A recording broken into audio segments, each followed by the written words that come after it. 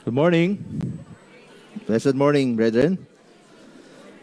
Let's let us prepare our minds and our hearts this morning to come before the Lord to praise his name, to worship him together. And allow me to remind all of us of the mercy of God.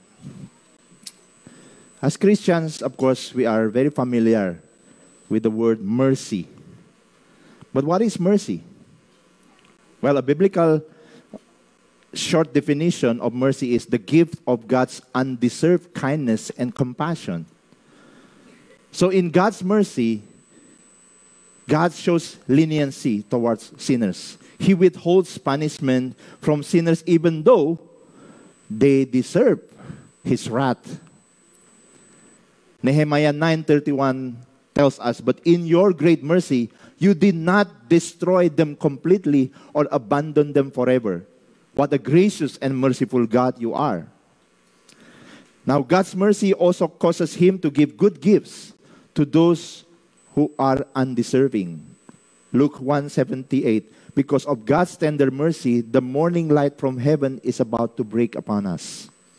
And then in Titus chapter 3, verses 4 to 7, the Apostle Paul gives us one of the best descriptions of God's mercy as revealed in the person of Jesus Christ. Titus 3 to 4 to 7. But when the kindness and love of our of God our Savior appeared, He saved us not because of righteous things we had done, but because of His mercy. He saved us through the washing of rebirth and renewal by the Holy Spirit, whom He poured out on us generously through Jesus Christ our Savior, so that having been justified by his grace, we might become heirs, having the hope of eternal life. And so God's mercy not only forgives and saves us, but also withholds the punishment we deserve. And we know this verse is very familiar verse in Lamentations 3:22, 23. The steadfast love of the Lord never ceases. His mercies never come to an end. They are new every morning. Great is your faithfulness. God's redemptive plan stems from His merciful love for His chosen people. Knowing that there was nothing we could do to earn our way into His presence, God made a way through the crucifixion of His one and only Son, Jesus Christ. Defeating death, Jesus opened up access to God for us. And then, as Christians, as people saved by grace of God, by the rich mercy of God, as Ephesians chapter 2 tells us, that He made us alive in Christ. And therefore, as people being made alive spiritually by God's mercy through prayer, God's word, the means of God's grace, the church, gatherings of the saints, and all kinds of, indeed, the spiritual provisions of God, and of course, the Holy Spirit living in us, each day brings fresh new mercy of God to our lives. Every morning, His mercies are truly fresh. God is faithful even though every day, as we all know, we fall short. That is mercy. But even our coming together like this, our singing, our worshiping God, or serving in the church, or even living day after day as people who worship Christ, as people who obey Christ, as people who give glory to Christ. It's all by the mercies of God. As Romans chapter 12 tells us, I appeal to you, therefore, brethren, by the mercies of God. It is by the mercies of God to present your bodies as a living sacrifice, holy and acceptable to God, which is your spiritual worship. So, brethren, here we are today as we will stand now before the holy presence of God. We should always remember it is only by His mercy that we are accepted by God. So please stand. Let us praise our merciful God. For if He's not merciful upon us, then we are doomed. Then we cannot stand even before His holy presence, knowing that our sins have separated us from Him. But God, praise be to Him, He is so merciful that He gave us Jesus Christ. Christ is our mediator. Christ is our Redeemer.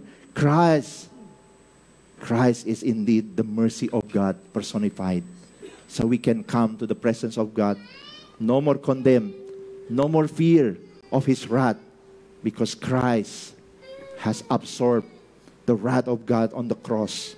So we come and we present our bodies, and God accepts us, and He is delighted with our spiritual act of worship.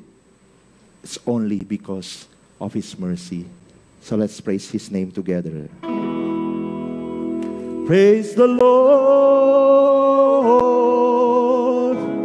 His mercy is more. Stronger than darkness, new every morn. Our sins, they are many. His mercy is more.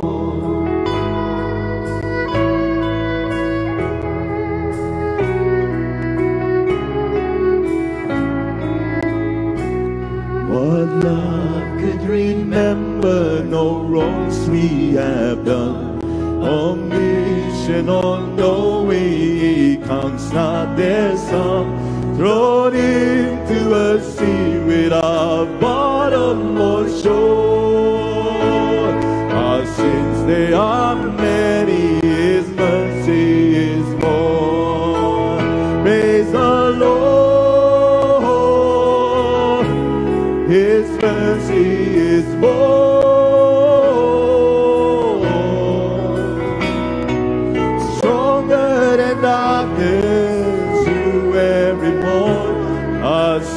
They are many. His mercy is more.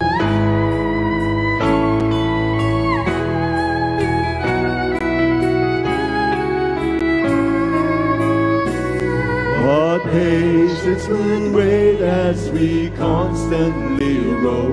What Father so tender is calling us home. He welcomes the weak as the fathers, the poor. Our sins, they are many, His mercy is more. Praise the Lord.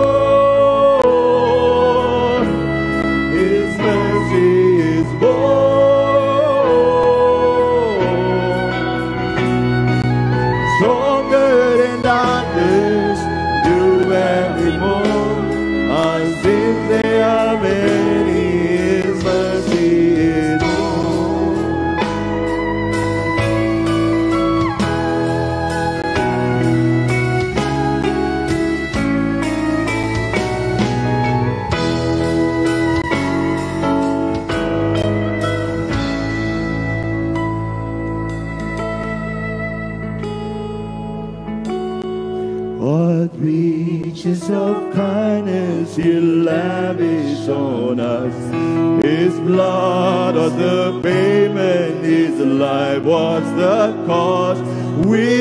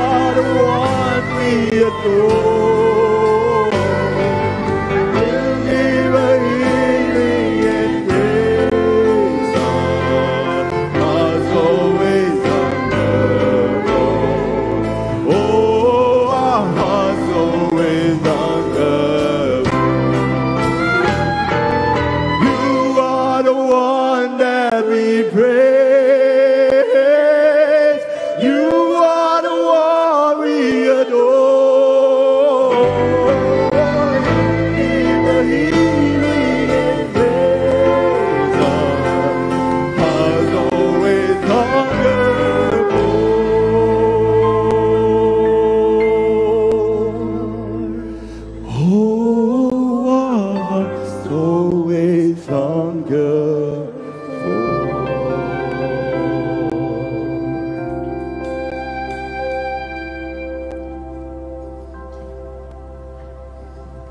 We praise your name, merciful God. So rich you are in your mercy. That, Lord, that you chose to love us even before the foundation of the world. That you chose to be gracious on us and gave us your Son to die on our behalf on the cross, to pay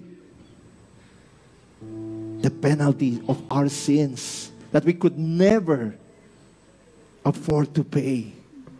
Oh Lord, oh Lord Jesus, we praise your name.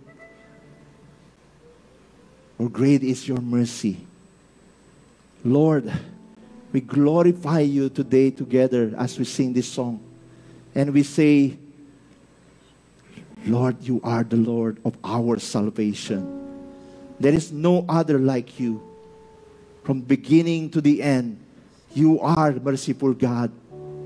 Great in your compassion to your people, to sinners like us.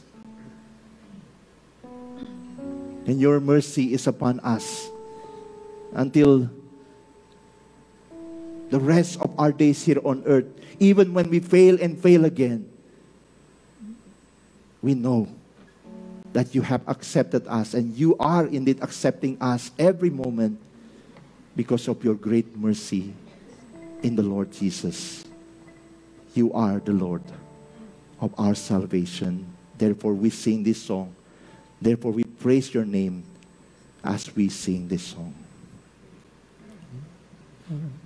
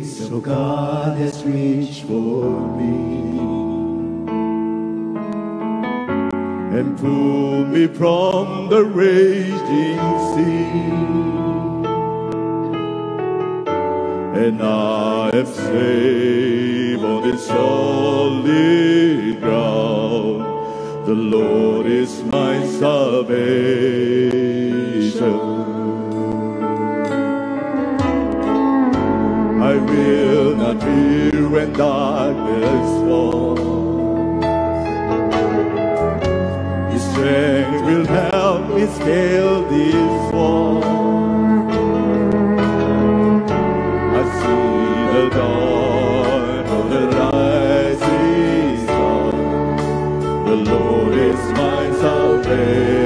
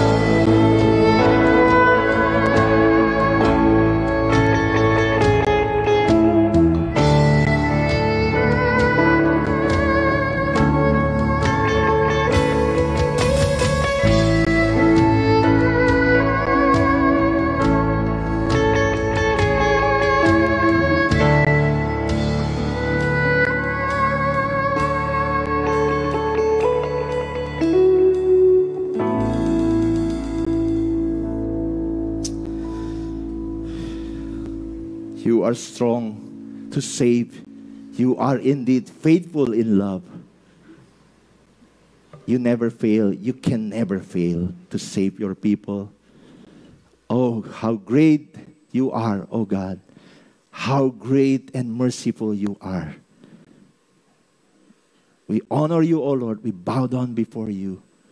It is our desire, even that this morning, we dedicate our time to only praise you and honor you in all that we are, in all that we do. Blessed be the name of our God. Great and merciful He is. In Christ's name, Amen. Okay, uh, good morning. Good morning, everyone.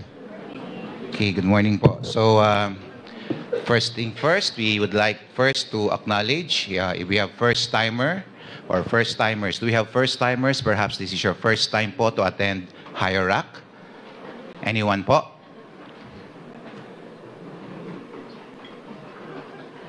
Okay. Wala, no? Okay, so uh, oh, okay, we have uh, we have one uh, first timer here. So welcome po, ma- Mami. Welcome po. Uh, so uh, meron lang po kaming uh, meron lang po Mami, meron po kaming short orientation po. Okay, so please follow Brother Dean Montalban. Short lang po 'yan, magpapakilala lang po ang hierarch po sa inyo. Please follow uh, Brother Dean po at the back. Okay, so uh, let's ask now all the children. Uh, sama po natin ng mga teachers po nila. Uh, we will pray for you before sending you sa inyong mga classes. Let's uh, uh, pray for them. Once again, Lord, we praise you for our uh, for this ministry, this wonderful ministry, our ministry to the children, which could be one of the best avenues for them, not just to know you, but to truly experience genuine salvation. And for this morning, we pray that you prepare the hearts of all the students today for the teaching of the Word. Bless every preparation done, every lesson. Ito man po ay plain Bible stories or through an artwork. Speak to the heart of every child. Grant them not just knowledge, but a heart ready to respond from every word spoken. So we seek, Lord, the guidance of the Spirit. As all teachers, teach these young people to have a thorough knowledge of your word as you prepare them for salvation. Give our teachers the ability to guide them along the Christian pathway with doctrinally sound teaching. May all Sunday school classes be venues for uplifting the name of our Lord Jesus Christ. This is our prayer in Jesus' name. Amen.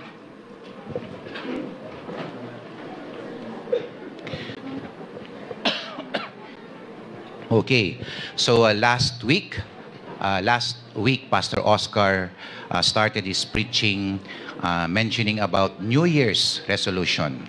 So, you know, we Pinoy, no, I don't know kung na-hook kayo dyan that every year meron tayong New Year's resolution. It's, it's so common for us to have New Year's resolution. And then what? Sabi nga ni Pastor Oscar, give up after a few months. But did you know that the word resolution somehow is a biblical word? No problem to use the word for some push this year. The word means determination. Kaya nga we are determined to do something new this year. It means endurance. How long can you do it? And you know, this word, this uh, word is one of James' favorite word, and he explained it why it is important in the believer's life. Let me read to you James chapter 1, verse 2, and we will jump to uh, verse 12. 1 to uh, 2 to 4 and then we will jump to verse 12 verse 2 of james 1 consider it pure joy my brothers and sisters whenever you face trials of many kinds because you know that the testing of your faith produces perseverance. And then verse 4 let perseverance finish its work so that you may be mature and complete not lacking anything. And then verse 12 Blessed is a man who perseveres under trial, for once he has been approved, he will receive the crown of life which the Lord has promised to those who love him. So James here is talking about trials. Trials as a test of faith. At sinasagot nito ang challenges and purpose na sineserve ng testing, ng trial. And here, we can see at least, at least two purpose okay, purposes, at least, uh, a twofold purpose of trials and why we need to persevere. Marami tayong pwedeng maisip but I think ito na yung pinaka-basic. Twofold. The first one for this morning. Number one, its purpose is to expose the quality of faith or the quality of your faith. We know what a test is. Kung mga students kayo, alam niyo ibig sabihin ng test. Before you can enter a job, there is a test there is an examination that you need to pass. And here, testing is designed to reveal what kind of faith you have. Look back, back again at verse 12. The phrase, for when he is tried. So literally, when he is approved after testing. That's the whole idea. Kaya nga magandang reflection ito para sa taong ito at anong gagawin natin sa pagpasok ng taon. Right? If you're a believer at sinasabi mong matagal ka ng believer, dapat meron kang kwento sa buhay mo about this. What kind of quality, what kind of faith do you have pagdating or sa mga pagsubok na pinagdadaanan mo? Can you perceive that in your life? Look, when tests and troubles and trials come, when there is death, you're depressed perhaps, there's loneliness, loss, problems, whatever that might be, can you see that God is testing the validity of your faith? And the thing that James points is this you need to know this. That's what he said. You need to know that the testing of your faith produces what? Endurance. That's steadfastness, patience, perseverance. That's what you need to know. That testing, dukemion, is the same word for proving that God has a purpose, and it is to make you stronger, to produce in you staying power. And I love that word, hupomone. So you can get under and remain under any trial and endure. It's that presence of spirit that holds up under pressure. So these trials of life, these difficulties of life that are the object of God's grace are meant to produce something specific in you. It's steadfastness. It means in the face of difficulty, I do not abandon that direction. I do not forsake that purpose. The principle is God will take you where you have not intended to go in order to produce in you what you could not achieve on your own. When tests, troubles, trials come, He is making you approve. He is putting you through the fire, as it were, that you might come out with the garbage burned off and the true faith shining bright. And those who hold fast to their, to, to their trust in God through trials, those whose faith does not fall, though the trial may persist, show themselves to have living faith. Now, you know the word, uh, that phrase, the perseverance of the saints, right? This important biblical truth, uh, a very important theological thought. It's a wonderful phrase common one in theology. We would say that it is part of our theological faith that we believe in the perseverance of the saints. In other words, we believe that saints will never abandon their faith. They will always persevere, believing God through every trial. That's the perseverance of the saints. In other words, they won't believe for a little while and what? Bail out. right? Look at Demas, Judas. They started well. And then their true faith was exposed by trials. So, ganyan din ang New Year's resolution pag tayo ay gum- gumigive up. Genuine believer will never abandon their faith. They will persevere. There will be no trial that will come on them to make them what? Give up their faith. Why? Because 1 Corinthians 10.13 says, There is no temptation, uh, peraimos, or trial given you, but such as is common to man. And God, who is faithful, will not allow you to be tempted above that you are able. And always what? Will make a way of escape that you may be able to endure it. There is always the possibility of the perseverance of the true saints. And the true saints will always persevere. That's a very, very important thought. And another theological, theological truth that is related to this is the phrase eternal security. I'm sure you're aware of that. Again, we believe in eternal security. That's a good phrase. In fact, we used to hear it this way once saved, always saved. That's right. And that's common phrase, once saved, always saved, ay pinapaniwalaan po natin. We, we like to believe that. Who among us ang hindi po naniniwala dito? Ayokong maniwala, mabigat po sa kalooban ko na magsasabi ang isang teacher, once saved, but you never know. We don't want that. The idea of eternal security means that God holds you, you are secure in His unchanging promise, you're secure in His unbreakable power, and Scripture does emphasize that we are secure. Ano yung mga assurance that we are uh, secured? First, we are secured because of the power of God. There's no question about that. Familiar verse John 10, 28. I give them and uh, I give unto them eternal life, and they shall never perish. Neither shall any man pluck them out of my hand. Why? My Father who gave them to me is greater than all, and no man is able to pluck them out of my Father's hand. So we are eternally secure because of the promise and the power of God. Secondly, also because of the prayers of Christ. He constantly intercedes on our behalf, right? That's John 17. He prays for all of his own that they might enter into the full fullness of salvation. So Christ is our intercessor. The third element is this. We are secure not only because of the prayer and the promise of God, the prayers of Christ, but also the presence of the Spirit. The Holy Spirit is in us, the guarantee of future glory. Ephesians 1:13. We are sealed by the Spirit to the day of redemption. Now, all of that emphasizes eternal security from the standpoint of the power of God, the presence of God through His Spirit, and the prayers of Jesus Christ. See the work of Trinity? The whole Trinity secures us forever so that no Christians who believes in the Lord will ever be lost. What a great salvation plan. That's eternal security. So, James says, we need to know that. Verse 3 that the testing of your faith produces perseverance. And you are blessed, verse 12, if you persevere under trial. Because when the trial comes, who do you attribute, uh, attribute them? To God. It's the trial that produces, verse 3 says, endurance. So, what we need to know is the purpose in your trial. You need to understand and know that God has a plan and that God has the power to work that plan, the wisdom to design the right, the right plan, and the compassion and grace to never put you through something that you cannot endure. As you go through something and develop perseverance, you have a great strength for the next trial. As you go through that, have a great endurance for the next trial.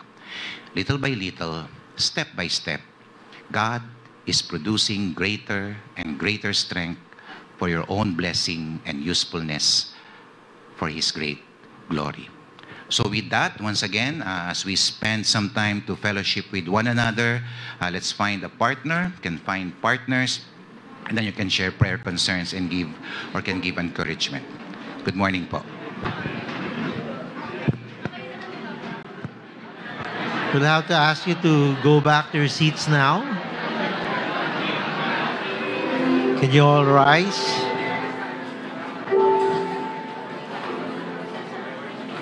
Let's just sing this song.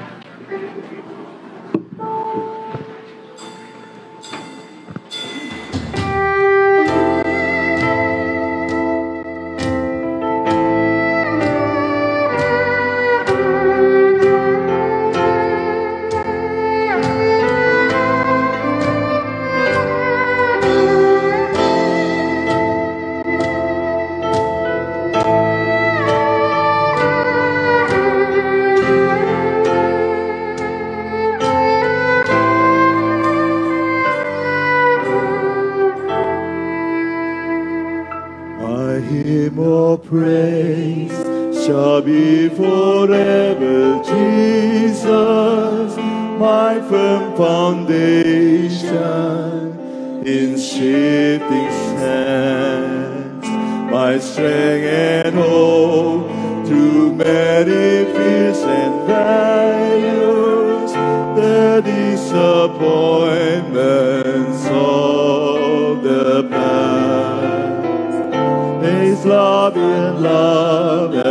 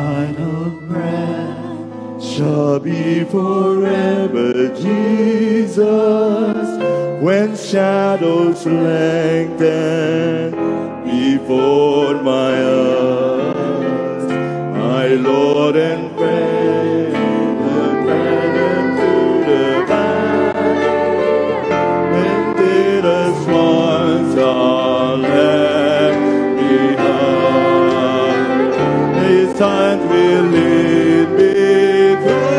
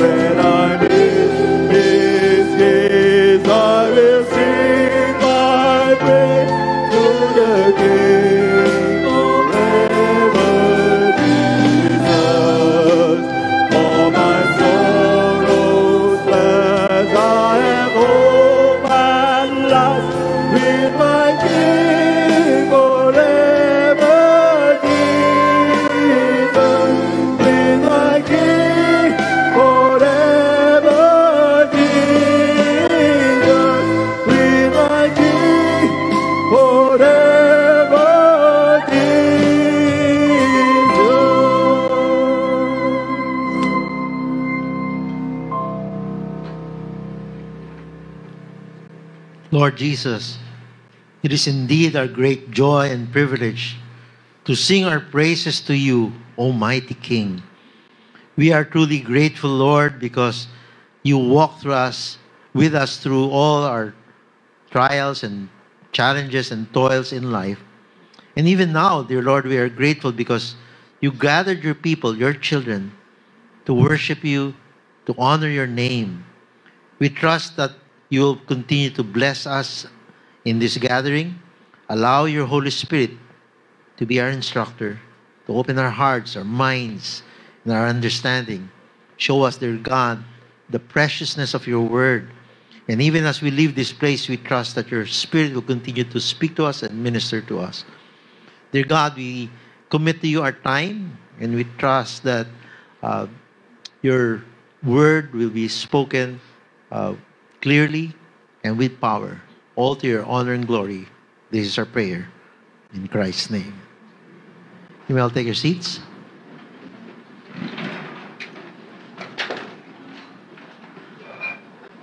Okay. Yeah. I think there are a few more, couple of seats over here, and a few more over there. Good morning. Yesterday, a number of us gathered to uh, listen to the video or watch the video of Dr. Wayne Van der Veer. Uh, we set it up because many of our new members, newcomers, have not been exposed to the teaching, and we wanted this to be part of our discipleship of our members. So certainly, most of us know Dr. Wayne. He was just here. When was that? 2022, I think, or 20, early 23. When was that? 22, 23, 2023. Yeah, January, I think. So we had him as our guest speaker. And sadly, he was explaining to us that he might not, he might be too old to travel back to the Philippines uh, because, uh, you know, he's had challenges. And as you know, while he was teaching that weekday, he had some health issues. So uh, uh, he's been uh, he's been seeing this coming, and he continues to, of course, be burdened for OIC, what he will do with the ministry. So having foresight, he um, he started turning over the responsibilities um, of OIC to our guest speaker this morning. He's, our guest speaker is the executive director. That's right. Is that your position in OIC? So uh, a lot of the things that uh, Dr. Wayne uh, used to do is now on his shoulders. Is, and thankfully, uh, his, his, he came here he, uh, a few days ago, ministered over in the south, in Alabang, and we'll be continuing to minister in the coming week, right? The entire week. Uh, so we in seminary. So we're grateful that he's available. He is a pastor at Kindred Community Church in Anaheim. Uh, he uh, he has uh, he still has a daughter, 17. That's the youngest still at home. He's been in ministry over 27 years. So we're truly grateful to the Lord for sending uh, somebody to minister God's word to us this morning. So please open your hearts for God's message through Dr. Andrew Rogers. Well, so glad to be with you this morning. I do send you greetings from our home church, your brothers, your sisters. You don't know them. You have family all over the world. Uh, and you actually have some in Anaheim, California, right next to Disneyland. So that should excite you. Um, so, you know, it's good, always good to have family and places you'd like to visit. Uh, but, um, and you're welcome. We would welcome you any day. Just let us know. But um, I greet you from the elders and pastors, fellow pastors and elders from Kindred Community Church. I greet you too from my family. Uh, just to tell you a little bit of who I am, I, I have one wife. It's a good thing. And, uh, and so we will celebrate 30 years of marriage this year. Excited about that. And uh, she is my best friend, great partner. Can't believe the Lord gave her to me. It's just a wonderful thing. Uh, we do have four children and we have two boys, one 25 and 123. Uh, both of them are married. Uh, one serves in the United States military, uh, the other one serves as an accountant. They could not be more opposite. Um, and uh, our uh, accountant son, our second son, he and his wife gave birth to their first child only three months ago. So we're newly minted grandparents. Uh, so, yeah, we're grateful for that. And, uh, and then we have two daughters, and our oldest daughter, she is away at uh, college. Matter of fact, my wife put her on a plane only about four hours ago. Um, so my wife is uh, uh just a wee bit sad, um, you know, and it's sort of like, and you'd have to be away while this happens, you know. So, uh, so we, we rejoice in what the Lord's provided for. And then, uh, as Pastor Bob said, we have a youngest daughter, and she's 17 and still in the home. And, uh, and then we have a really big dog. And so I can't forget the dog, Charlie. And uh, Charlie is 55 kilograms. Yeah, he's a big dog. And uh, so nobody messes with the Rogers family. Uh, so, well, with that, if you will please, will you turn in your Bibles to Psalm 32? We're going to look at Psalm 32 today.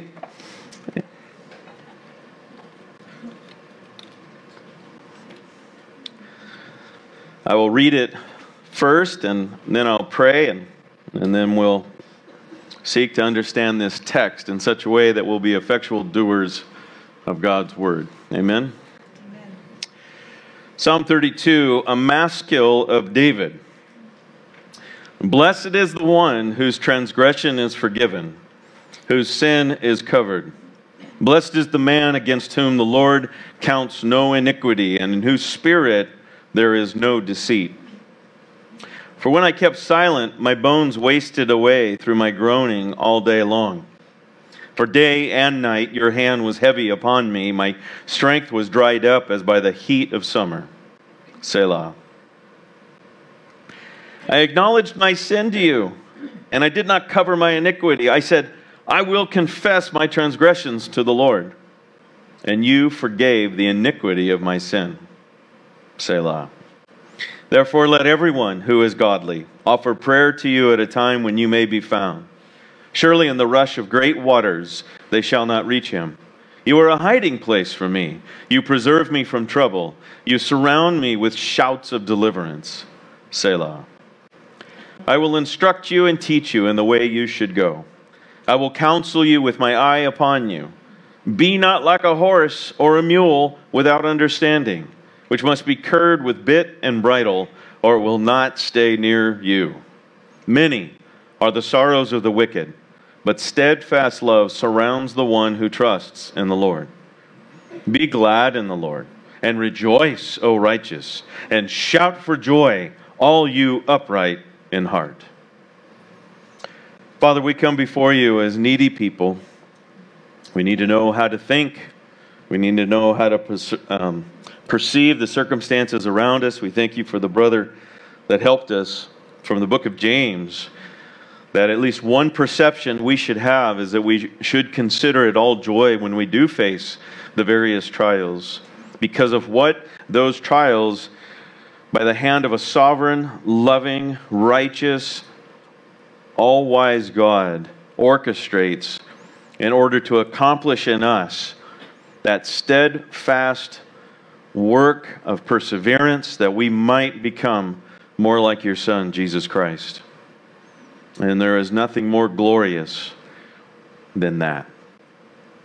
So, Lord, we come before you asking you to help us to understand what you want us to know through Psalm 32 that we might know you better and that we might be more, just more uh, expedient in our confession of our sins.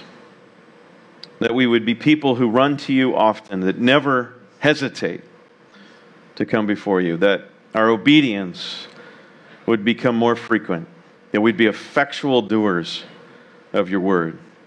And all of this as we seek to honor and please you and glorify your name. It's in Jesus' name we pray. Amen. Well, I could ask you the question uh, what makes you happy?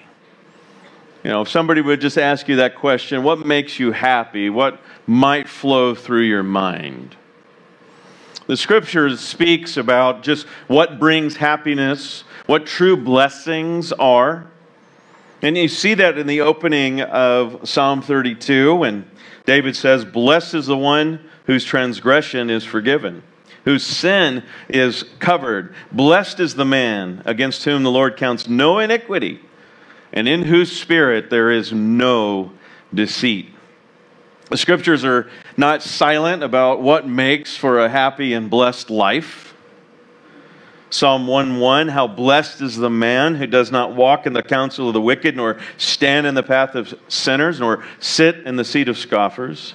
Psalm 33 verse 12 says, "Blessed is the nation whose God is the Lord, the people whom he has chosen for his own inheritance." Psalm 34 says, "O taste and see that the Lord is good. How blessed is the man who takes refuge in him.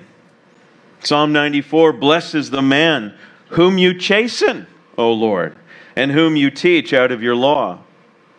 Psalm 122, or I'm sorry, 112 Praise the Lord. How blessed is the man who fears the Lord. Proverbs 3 How blessed is the man who finds wisdom and the man who gains understanding. Or, as was read earlier, James 1:12, blessed is a man who perseveres under trial. In Psalm 32, King David says, The happy and blessed person is the one whose sins have been forgiven. Now, we need to understand the context behind Psalm 32, and it actually goes all the way to 2 Samuel chapter 10. Many of you will be familiar with the story. It's the sin against Bathsheba. And in that passage, you not only see the sin that David committed against Bathsheba, but we have to recognize he sinned as well against the nation of Israel. He sinned against his military. He sinned against her husband, Uriah. Ultimately, as he proclaims in Psalm 51, he sinned against the Lord. Now, after that sin, it appears that there was some delay before he took responsibility for that sin. You remember the story of Nathan? And Nathan came to him and told him a story of which King David could relate. And basically, King David said, Oh, cursed be that man. And then what did Nathan say? You the man, right? You the man. You're the man in this story. You are the one who has grievously sinned against God. And you are the man who is in need of repentance. And we see that David did ultimately confess. What, what we could come to understand is roughly six to nine months had actually taken place before he took responsibility for his sin, before he came to the Lord. So there's some time between 2 Samuel 10 and the events that are described there, and then what we get in Psalm 51. Okay? You can turn with me, if you will, to Psalm 51, but keep your finger in Psalm 32 because we're coming back. But in Psalm 51, I want to just, as we talk about it, I want to make sure that we at least see, because he's going to address in Psalm 32 his confession, and we want to just see some of the elements of his confession in Psalm 51. We see at least five elements uh, of his confession, five elements of repentance from David. In verses 1 through 3 of Psalm 51, David is making his appeal to the Lord. It's the Lord he is coming to. He says to him, Have mercy on me, God according to your steadfast love, according to your abundant mercy, blot out my transgressions. You understand what his appeal is to. His appeal is to, Lord, this is who you are, and so I have confidence in coming to you with my confession in light of who you are. Right? We have confidence to go before God in light of who he reveals himself to be, and that's exactly what David is doing. So he's appealing to the Lord based on the character of the Lord. The second element is that he understands the nature of his sin.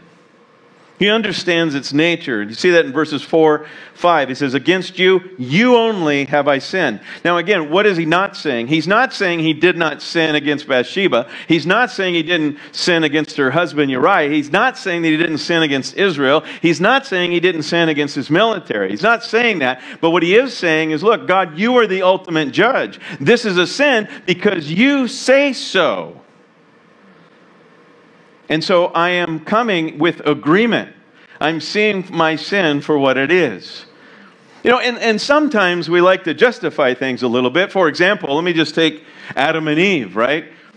Really? We're going we're to curse the entire world and the human race because they ate a piece of fruit? Really? Ah, but that's not exactly what they did, did they? They disobeyed God. So it doesn't matter whether it was a piece of fruit or whether they ripped a piece of paper or whether they spilt milk. I mean, it doesn't matter.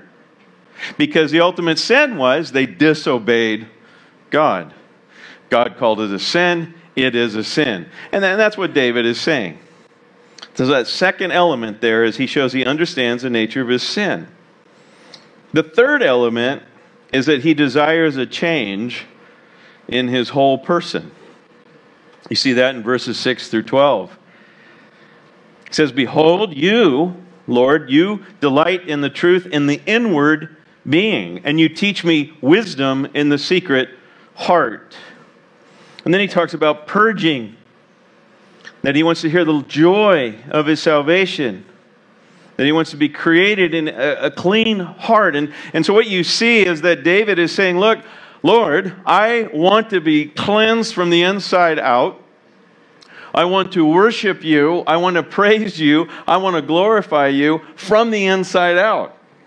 So you'll just notice that David is not talking about just mere behavior, not just mere behavior that would correspond with righteous living, but actually a righteous heart. That from a righteous heart would come out righteous living. You know, there's a, a really unique, amazing technology. My in laws, or my in laws by marriage, they're actually fruit growers in the central part of California. And you know, sometimes lemons are not as popular as oranges. And so they can go to their lemon trees and they can cut off all the lemons. And then they can take one orange and they can tape it to the tree and transform that tree into an orange tree. Isn't that amazing? No, that doesn't happen. That's impossible.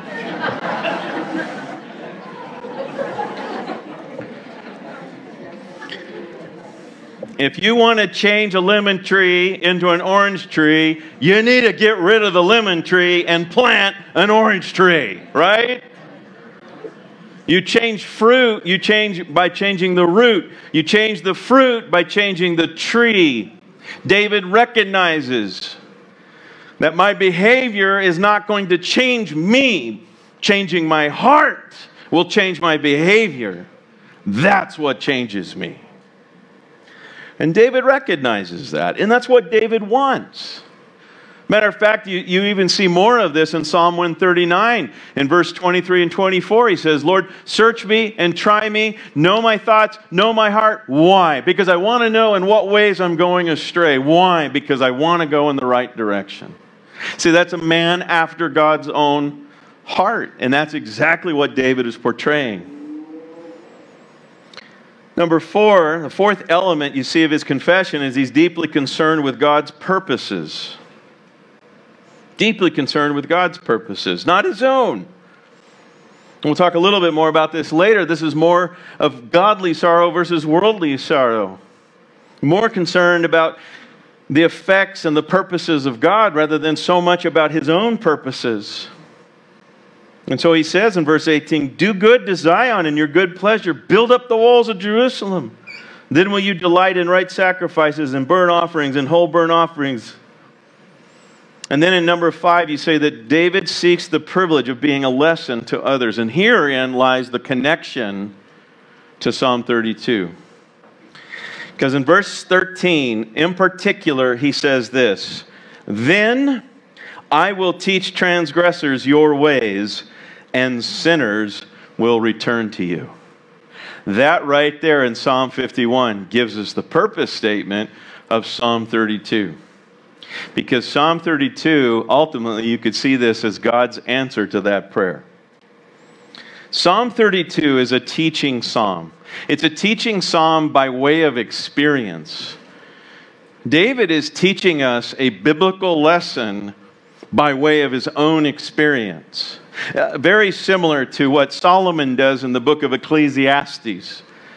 At the end of his life, he begins to talk about all of the different things that we could pursue, all the different things that he pursued, and it was all what?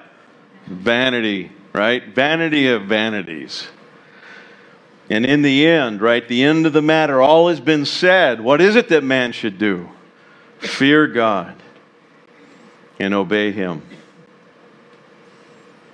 And so you see the book of Ecclesiastes, it's by way of example, the teaching book, and you see in Psalm 32, now by way of example, a teaching psalm.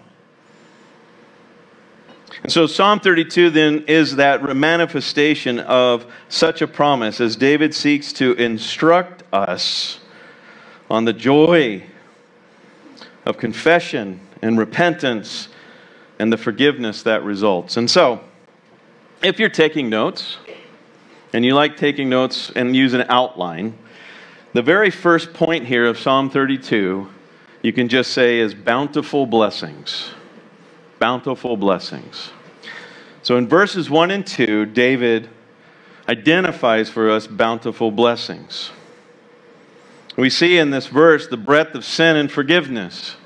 Juxtaposed is the comprehensive repulsiveness of our sin with the comprehensive mercy of God in just these few verses, David is ultimately saying, Look, you can't out sin the mercy of God.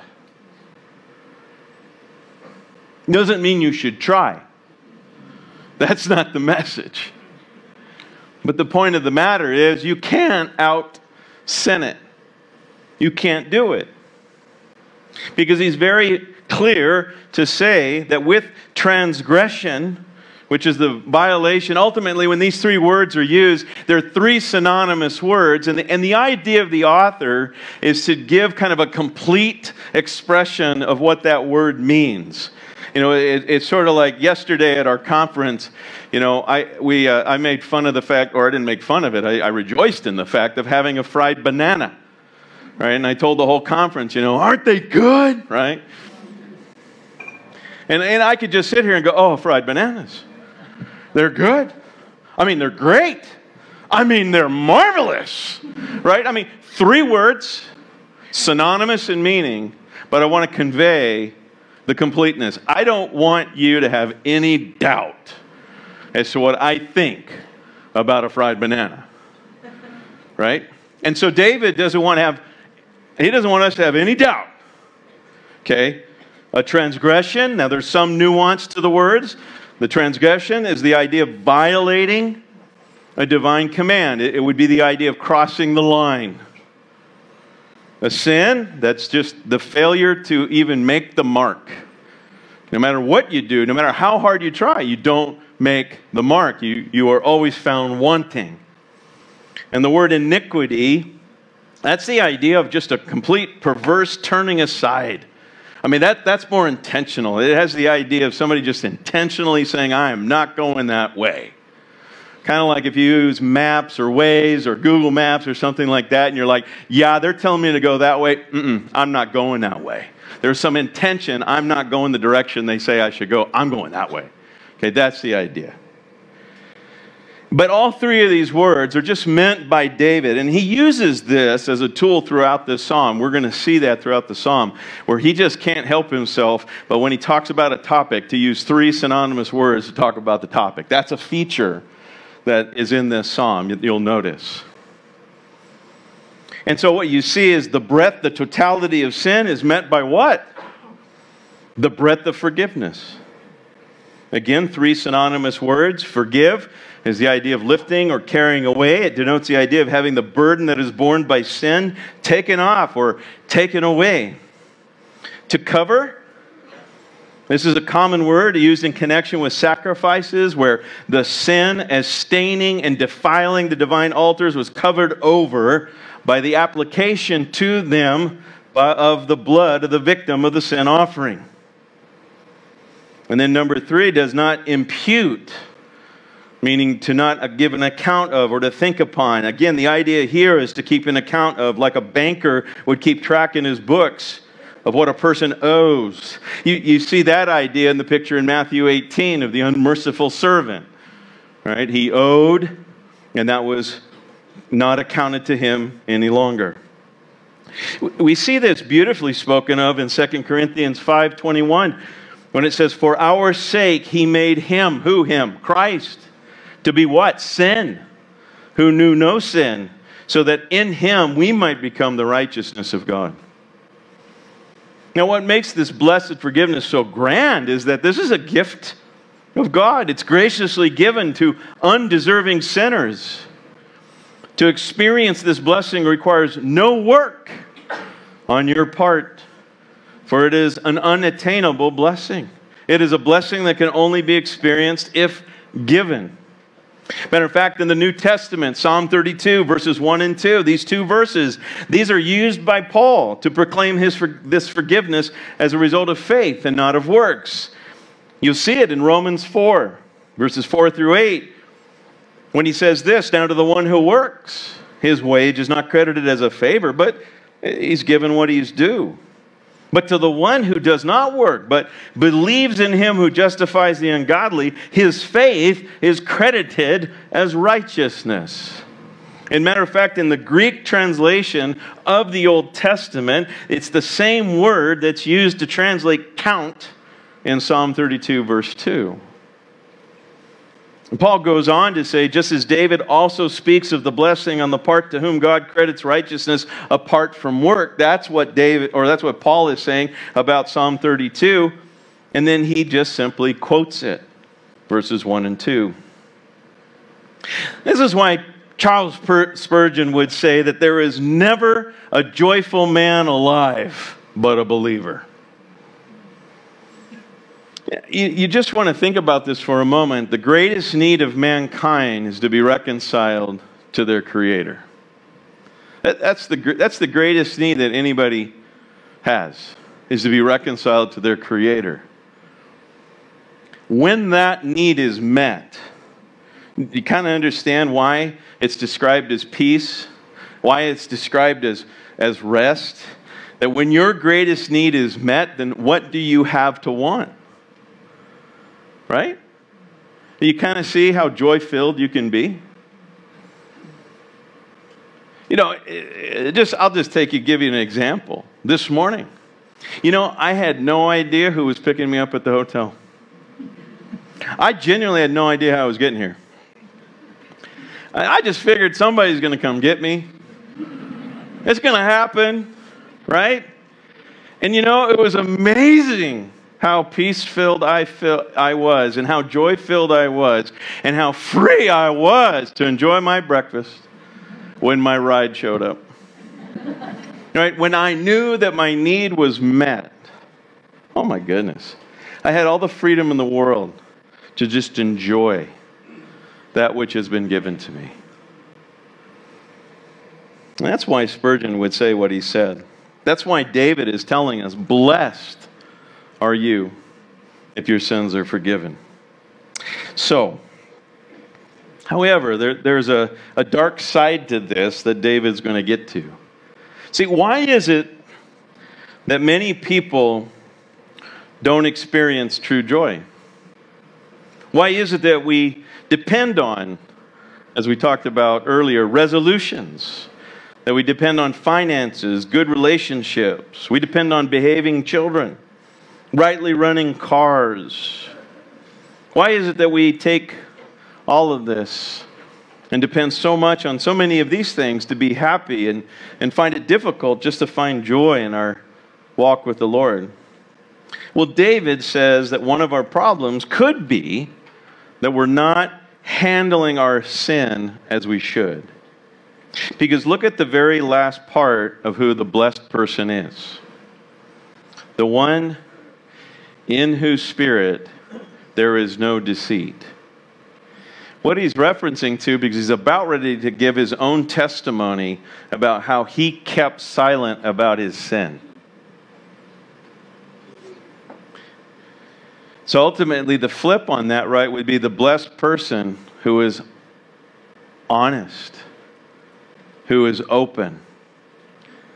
And so now he gets into the experience side of this. So in the very beginning, he's given us our principle Blessed is the one whose sins are forgiven, and blessed is the one is in whose heart there is no deceit, meaning the person who comes clean with their sin. And so, if you're taking notes again, the second point for verse 3 and 4 would be manifold misery. So we go from bountiful blessings to manifold misery. Because this is where David is going to give us his own testimony of what his life was like when he violated those principles. And so, by David's own testimony, one of the leading causes of our misery sometimes will be the way we handle our sin. He says he groaned, or another translation might say roared, because of his guilt before God. Vitality was drained away. Literal translation means his life juices were dried up. Isn't that colorful? Let me give you an illustration that'll make this even more colorful for you. There was a time at my home that we had this uh, kind of a storage shed in our backyard, and I needed to clean it out. So I went in there with the broom and I'm sweeping out this shed. And one of the things I swept across the floor was this piece of cardboard. So I sweep this cardboard across the floor, but then I stop for a moment and think, well, that's a very, that's a uniquely shaped piece of cardboard. And as I inspected it just a little bit more, I recognized, wow, this cardboard is shaped exactly like a rat. Because it was a rat. And the life juices were sucked dry to such an extent it was like a piece of cardboard. There's an image, and that's the image that David is portraying that the Hebrew word that he is conveying literally means his life juices were sucked dry. Does that just convey just an ounce of uncomfortableness? Yeah, that's what he's trying to get across. He, he, again, he does not want to give any doubt about how uncomfortable his life was. And we have to recognize this will sound a little bit funny, but the uncomfortableness and our guilt, that is a gift from God. It is a gracious privilege of being God's child. If you are living in sin with no guilt, that's not a good thing. I, I don't know what your life was like before being a believer. My, my life, I mean, I was, I was, I definitely lived according to the world. I lived according to my flesh. As I shared with the group yesterday, Ephesians 2, first few verses, very descriptive of what my life was like. I don't know if I actually ever felt guilty for anything.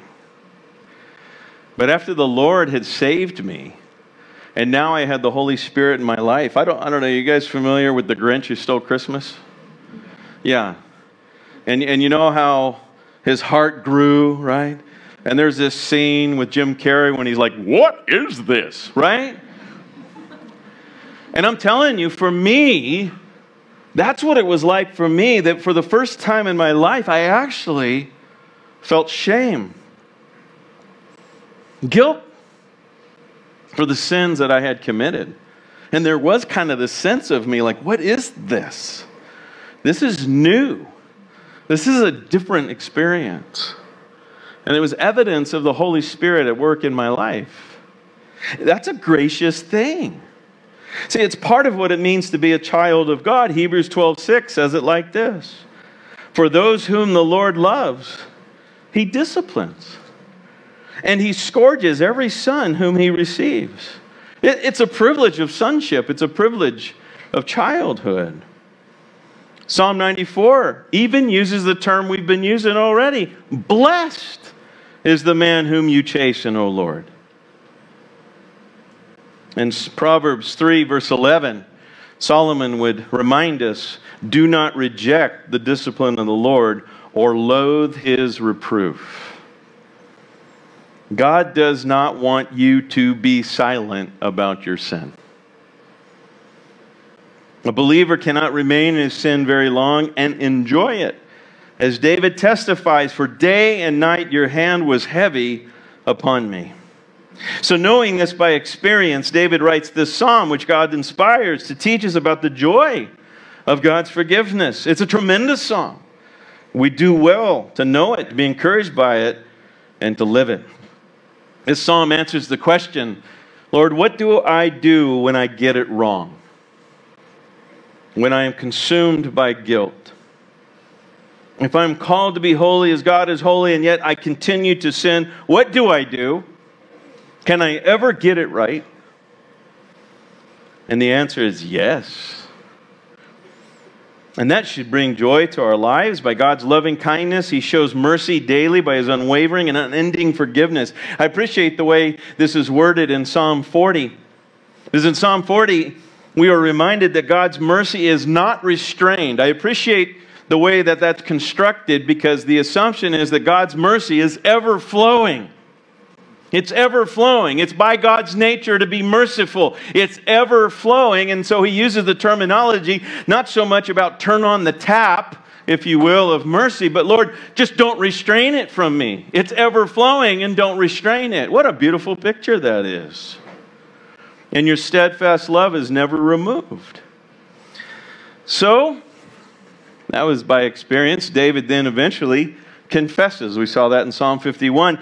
And so, what you see then, if you're taking notes, you want number three, here you go complete confession. Complete confession in verse 5. Again, three words. You see the three words for sin, and you see now three words for confession. He wants make sure there's no doubt about what he's talking about. When he says, I acknowledge my sin, this is the idea of proclamation to make known or to declare. Matter of fact, in its current form, it emphasizes the fact that David was doing this willfully and with force. He wasn't being soft about it. He wasn't beating around the bush, if you will, like a little kid who you might confront and say, What did you do? And the little kid just kind of sits there. Mm-hmm. That's not it. But what he is saying is like, Lord, this is what I did. Now, what is he not saying? He's not saying he ran through the streets. I sinned, I sinned. That's not what he did. But what he is saying is that he is intentionally, willfully, and forcefully saying, God, this is what I did. I'm not holding back. Matter of fact, it goes on to say, I did not hide it or to cover it like clothing. In other words, fully bare, completely transparent. I mean, you have to think about this a little bit how silly it is, how foolish it is for us to even be silent about it. I mean, it isn't like God doesn't already know. But we act like we're we act like we actually can hide it from him. Oh, he's not going to see this. Really? Again, going back to Psalm 39, where can I go from his presence? The hearts of man are laid completely bare. So it's foolish for us to think we can hide it anyway. But sometimes we hide it because we have a misunderstanding of God. And we'll get to that in just a moment. Because he goes on to say that I will confess, and again, we already saw that in Psalm 51, that that was an agreement with God. See, again, we were reminded in the New Testament, 1 John 1 8, if we say we have no sin, well, what are we actively doing? doing? We're actually deceiving ourselves. To, to say that you have no sin, you're deceiving yourself, and the truth is not in you because you're not judging yourself according to the truth of God and His Word. But then, if we say that we have not sinned, so in other words, it's very clear from Scripture that this is indeed a transgression, but yet we say, no, no, we didn't do anything. So what we're, what we're doing there is we're not agreeing with God's assessment on the matter. Then we're calling him a liar. So that's the opposite of what David was doing in Psalm 51. And so that's why we get 1 John 1 9 if we confess our sins, if we agree with God about His judgment of my behavior, His judgment of my speech, His judgment of my thinking, His judgment of my wants and desires, if I agree with Him, what happens? He forgives and cleanses us from all unrighteousness. You get that transaction? because of our bent toward works righteousness, we want there to be more.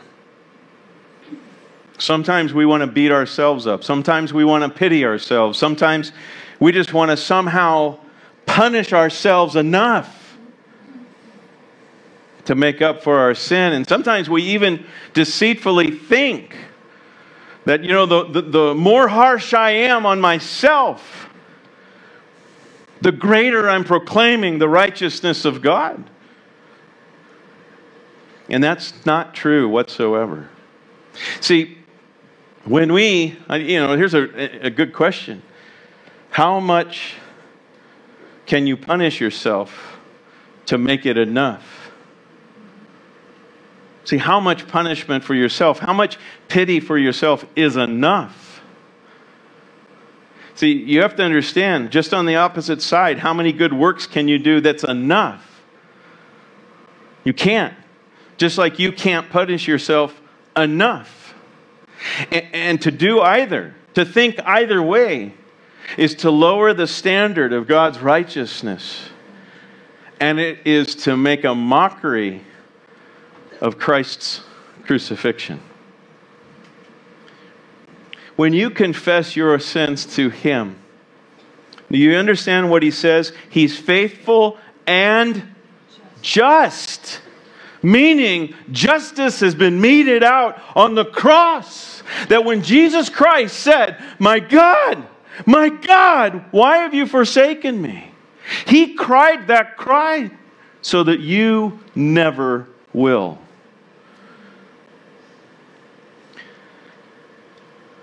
And we proclaim that truth when we confess our sins and then know full well that we are forgiven of our sins and cleansed of all unrighteousness. Who is God? Micah 7:18. Like you, who pardons sin and forgives the transgression of the remnant of his inheritance. You do not stay angry forever, but delight to show mercy. Elsewhere, he says he casts our sins as far as the east is from the west. You know, I'm actually on a very unique trip right now. I started in California, I flew west to Japan, still quasi flying west to the Philippines. I'm going to continue this westward trek to Singapore. I'm going to continue from Singapore to Ndola, Zambia. I'll be in Zambia for a week, and then from there, I'm going to go back to Los Angeles, California. I'm constantly flying west. You know what's interesting? Did you know if you fly north, once you get to the North Pole and you continue going, you're now going south? Isn't that weird? But did you know if I keep going west, no matter where I am on the globe, I'm still going west? Or let's take it according to the scriptures. If I'm going east, I'm always going east. So you understand what he's saying? Isn't that cool that he didn't say as far as the north is from the south? You don't want that. But that he said as far as the east is from the west. What is he telling you? Infinite. That's your God. Oh, if you don't know him, Please come to him. And I'll tell you why. Not only does he forgive you your sin, but now, point number four, you're taking notes caring counsel. Caring counsel. Now, we said that David wanted to teach transgressors, and he wanted to teach transgressors for the intended purpose that they would turn to him. And now he begins to give us counsel. That here is what you should do. In light of these great truths, in light of how I didn't live accordingly and suffered manifold misery as a result, but then came to my senses and I confessed my sin and he forgave my sin, let me speak to you now, O people of God. He says, Come to him when he may be found. There's a time limit. There's a sense of urgency that should compel us to run to Christ when we sin, not run away. The promise is that we will not be overcome by our sin. Our, our sin will not have dominion over us. That's especially true as we think about that in Christ.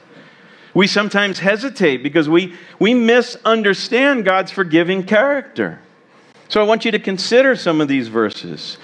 Psalm 30, verse 5 For his anger is but for a moment, his favor is for a lifetime. Psalm 103, verse 3 He forgives all our iniquity, who heals all our diseases. Exodus 34, 7 Keeping steadfast love for thousands, forgiving iniquity and transgression and sin, who will by no means clear the guilty, but he forgives.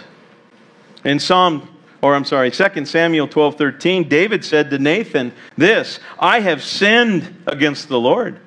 And what did Nathan say to David? The Lord also has put away your sin. Oh.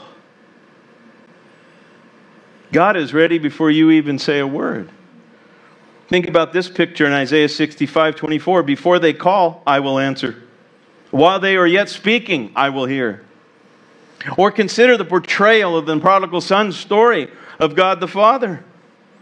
What did, what did the Father do? When this man, when this young man came to him and he rose and he came to his father, while he was still a long way off, his father sat back and just said, No, he's going to have to come to me. Right? That's the story. No, not the story at all. Right?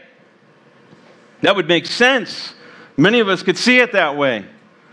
Right? Oh, he's going to have to show repentance. Oh, he's going to have to come. But that's not the story that we are told. That's not the portrayal of our Heavenly Father. While he was still a long way off, his father saw him, felt compassion, ran, embraced him, kissed him. And son said to him, Father, I have sinned against heaven and before you. I'm no longer worthy to be called your son. And the father said to his servants, Bring quickly the best robe, put it on him, put a ring on his hand, shoes on his feet. Bring the fattened calf and kill it. Let us eat and celebrate. Oh, your heavenly Father enjoys forgiving you of your sins. He enjoys hearing his children come to him in confession it delights his heart. This is his nature. This is who he is. He does not forgive begrudgingly. He doesn't forgive because, well, I guess so. That's not our God. And so, in light of this, what David is saying is don't hesitate. Sim- simple principle. If you get nothing else from this sermon, just simply get this never hesitate to run to God with your sin. And what David is about ready to portray is that God is a safe person to go to with your sin. And you see that, again, if you're taking notes, point five, verse seven sure safety. Sure safety. God is our refuge, He's our fortress. And you see again three more synonymous words, but this time to portray the breadth of God's care. He says, You are my hiding place, my covering of protection against the storm. You preserve me. You watch. You keep an eye on like men in a watchtower. You surround me, meaning to be encompassed or surrounded. Ultimately, what David is saying is God's deliverance is all around David. Matter of fact, in this structure, it denotes the personal experience of David concerning God's deliverance. His deliverance is all about him. No matter what direction David's life takes, God's deliverance is there. No matter the severity of your sin, God will save you. Do not hesitate to run to Him, to trust Him. God's deliverance of David has nothing to do with David or his circumstances. It is the almighty sovereign work of God. The imagery here depicts a well secured city with a, a covering to avoid attacks from above, watchmen in the tower to keep watch all around, and a solid wall all around the city to keep the people out. It depicts total security that there is in God, the comprehensiveness of His care. He is a safe person to go to with your sin. Therefore, what David is saying, don't hesitate. Don't hesitate. Matter of fact, in 1 John 4 15 through 18, this misunderstanding, if you will, that may cause us to hesitate, what John says is this Whoever confesses that Jesus is the Son of God, God abides in him, and he in God. So we have come to know and to believe the love that God has for us. God is love, and whoever abides in love abides in God, and God abides in him. Verse 17 By this is love perfected with us, so that we may have confidence for the day of judgment, because as he is, so also are we in this world. Because there is no fear in love, but perfect love casts out fear. For fear has to do with punishment. And whoever fears has not been perfected in love. You understand what he's saying? Is that if we're fearing the punishment of our Heavenly Father, then we have yet to be perfected in love. There's a maturity that needs to take place. John MacArthur says that we love God and reverence Him, but we do not love God and come to Him in love, and at the same time hide from Him in terror. Fear involves torment or punishment, a reality the sons of God will never experience because they are forgiven. My God, my God, why have you forsaken me? Jesus cried that cry so that you never will. He will not turn away from you. There's nothing that can separate us from Him. Now, this brings us to the final point if you're taking notes, the heading here is pointless pig-headedness. Okay? It's not the final point, but it's the second to final point. But pointless pig-headedness. You see that in verse 8 and 9. Now, what you see in this psalm, though, is you also see a change in the subject. This happens in a number of the psalms. It's no longer David speaking, it's now God speaking it is God who is saying, I will instruct, I will give you insight, I will teach, I will give you direction, I will counsel, I will give guidance. You know, again, now he says to this look, do not be like the horse or the mule. The point that he's making is, you know, I cannot reason with a horse. When I was younger, we had horses, and I couldn't just go to the horse and say, okay, hey, my horse's name was Spider. Okay? And I can't just go up to Spider and say, hey, Spider, hey, we got some, you know, fun things to do today. I'm going to go have breakfast first. I want you to get ready. And I'm going to come out. When we come out, we're going to go down here, and then we're going to make a right at the big oak tree. Then we're going to go spend some time there. Then you need to let me off because we're going to hang out for a little bit in the water. I want you just to hang loose for a bit, okay? You understand? Right? This doesn't happen. Okay? And the, the point that he's making is look, a brute beast without understanding, what is it that they need to go in one direction or another? They need something physical in their life, a bit and a bridle, in order for them to go one way or another. Ultimately, this is what he's saying. How was it that David learned? David learned by crucifixion. He learned, or cru- cruci- well, not crucifixion, sorry, Wrong. Okay, he learned by crucible. There we go. All right, he learned by crucible. Boy, you need to scratch that. Taken out of context, man, that would be heresy. Anyway, but he learned by crucible, not by counsel. You get that? You ever, you ever say things? We have a saying in the United States at times people will simply say, Oh, you know, I'm just one of those that has to learn the hard way. Oh, if you've ever said that in kind of like pride, just recognize that's evidence of a fool. See, that's exactly what God is saying. Do not be a person that has to learn the hard way. Do not be a person that has to test the Lord's wisdom. He's very clear. Blessed is the one whose sin is forgiven. Blessed is the one in whose spirit there is no deceit. Don't test it to see if that be true. You do not have to learn by crucible. You can learn by counsel. And ultimately, what the Lord is saying is trust what I say. Trust what I say. Come to me right away. Don't hesitate to come to me with your sin. And so, what is nice, a great feature about this psalm as well, as you noticed, we started with what is it that makes a man, a woman truly happy? Their sins are forgiven. Their soul is taken care of. Their destiny is secured. Their inheritance is secured. That you can know, as was spoken of by our brother earlier, perseverance of the saints, eternal security. You know in Christ this day, if you should die or Christ return, you will be with him in paradise. You will see him face to face. You will stand in his presence. He will stand in your presence. And that's a glorious thing.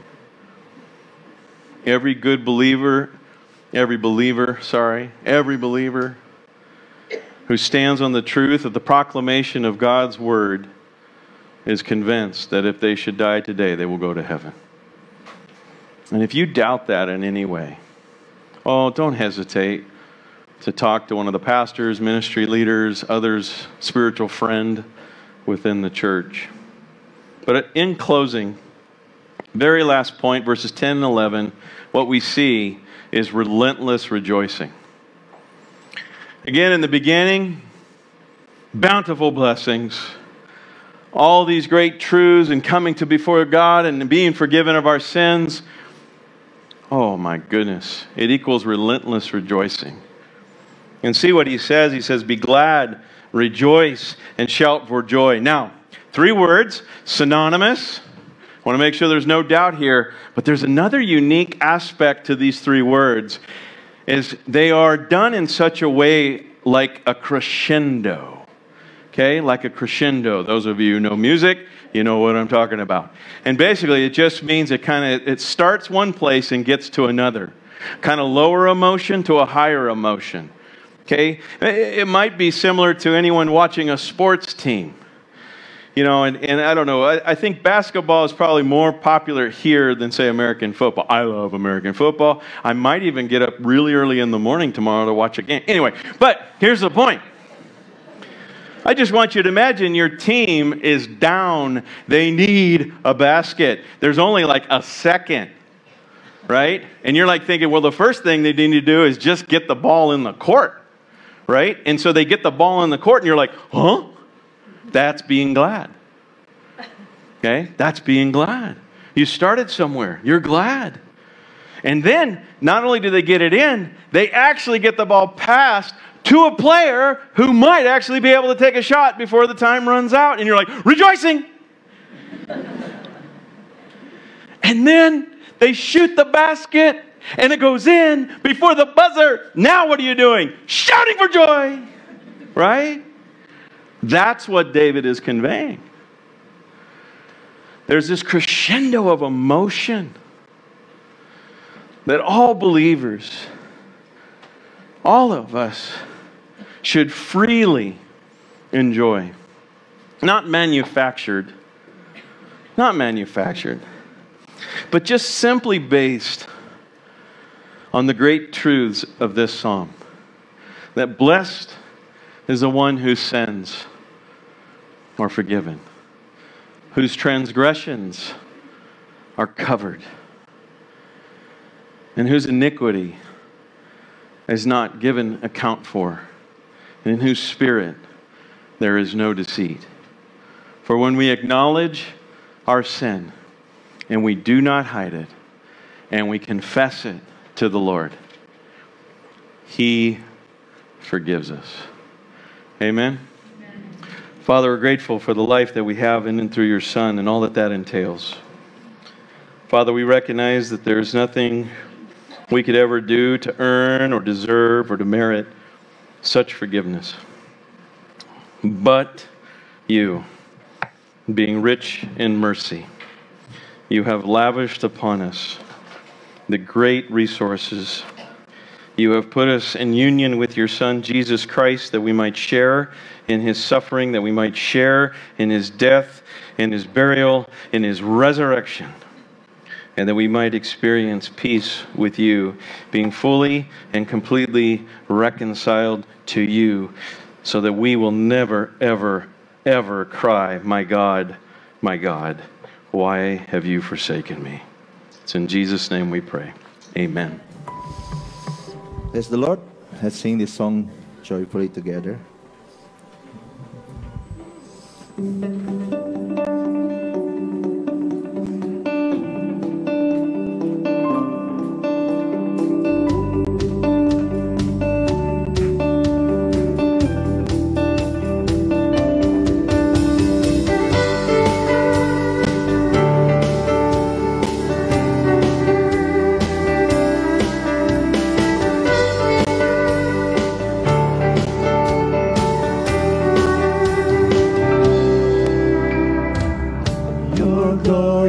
Cause, O God, engages the heart. May Jesus Christ be known wherever we are. We ask not for ourselves, but for your renown. The cross has saved us, so we pray.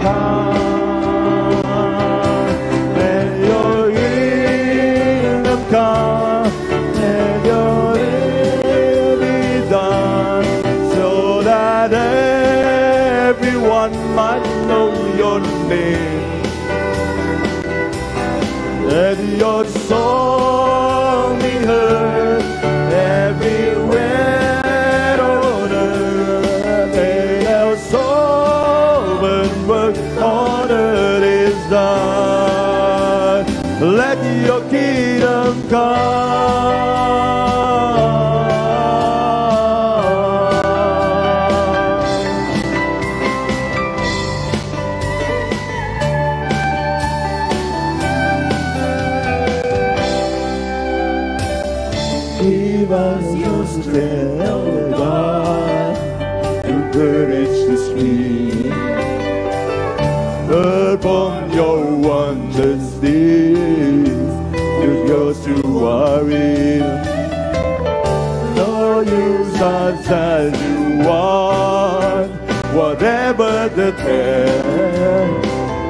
My grace will preach your gospel to our dying